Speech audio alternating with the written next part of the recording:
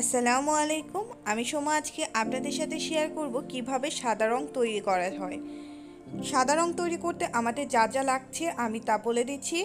আমাদের যেটা সবচেয়ে বড় উপকরণ বা মেইন উপকরণটা হচ্ছে হোয়াইট পেস্ট তো আমি এখানে অল্প করে একটু সাদা রং তৈরি করব, যেহেতু আমার সাদা রংটা শেষ হয়ে গিয়েছে। তাই আমি ব্যবহারের জন্য সাদা রংটা তৈরি করছি। আর লাগছে বাইন্ডার আর হচ্ছে এনকে। এই তিনটি উপকরণ দিয়ে আমি আজকে সাদা রঙটি তৈরি করব। আমি এনকে এবং বাইন্ডারটা একটু ছেঁকে নিচ্ছি, যেহেতু কেমিক্যালগুলো অনেক দিন সমানভাবে থাকে রেখে দিলে এটা একটু উপর দিকে পানি ছেড়ে দেয়। তাই যখনই আপনারা ইউজ করবেন, তখন এটাকে ভালো মতো একটু নেড়ে চেড়ে নেবেন। এখানে আমি হাফ চামচের মতো করে আমি একটু এনকে নিয়ে নিয়েছি। আমি আমার ঘনত্বটা যদি একটু বেশি মনে হয়, তাহলে আমি আরেকটু এনকে দেব।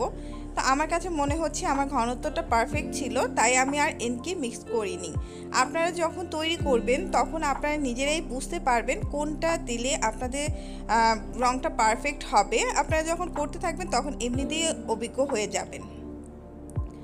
এখন আমাকে, আমার যে কাজটা সেটা হচ্ছে ভালো করে বাইন্ডার এনকে আর হোয়াইট পেস্ট মিশ্রণটিকে ভালো করে মিক্স করা।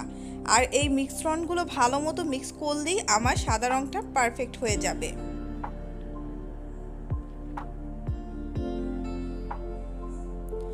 আমি খুব ভালো করে চামচের মধ্যে যে কেমিক্যালগুলো আছে, সেই কেমিক্যালগুলো তুলির সাহায্যে সরিয়ে নিয়েছি নিয়ে ভালো করে মিক্স করে নিচ্ছি একটি বাটির মধ্যে।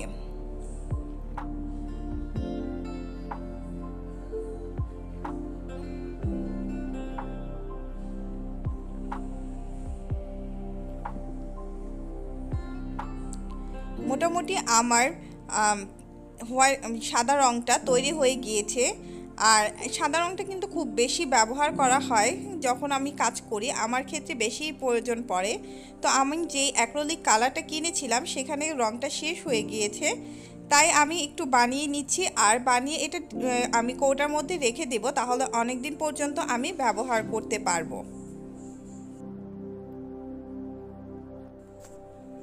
তো আমি দেখাচ্ছি আমার রঙটা কতটা পারফেক্ট হয়েছে। এখানে আমি তুলির সাহায্যে ব্যবহার করে দেখাচ্ছি যে আমার রঙটা কেমন হলো। খুব ভালো হয়েছে, আমি এতটুকুই ঘনত্বটা রাখতে চাচ্ছি। আর আপনার যদি এর থেকে বেশি পাতলা করতে চান মানে কাপড় অনুযায়ী আপনি আপনার রঙটাকে ব্যবহার করবেন। এটা আমি যেভাবে সংরক্ষণ করছি সেটাও দেখিয়ে দিচ্ছি। আমার যেই রঙের কৌটাটা ছিল, সেখানে আমি এটাকে ভালো মতো করে ঢেলে রেখে দিব। এটা কিন্তু অনেক দিন ভালো থাকবে এবং অনেক দিন পর্যন্ত আমি ব্যবহার করতে পারব।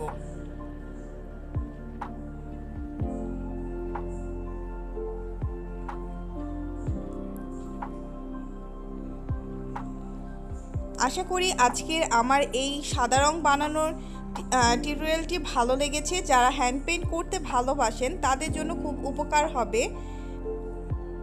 সামনের দিকে ইনশাল্লাহ আমি আপনাদের সাথে কীভাবে কোন কাপড়ের জন্য কোন রঙটি তৈরি করলে ভালো হবে বা সেইগুলো শেয়ার করব। তো আজকে এই পর্যন্তই, ভালো থাকবেন, আল্লাহ হাফেজ।